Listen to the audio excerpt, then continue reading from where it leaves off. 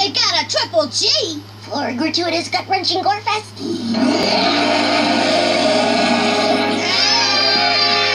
The game is out of control. I gotta get back home so Cosmo and Wanda can help.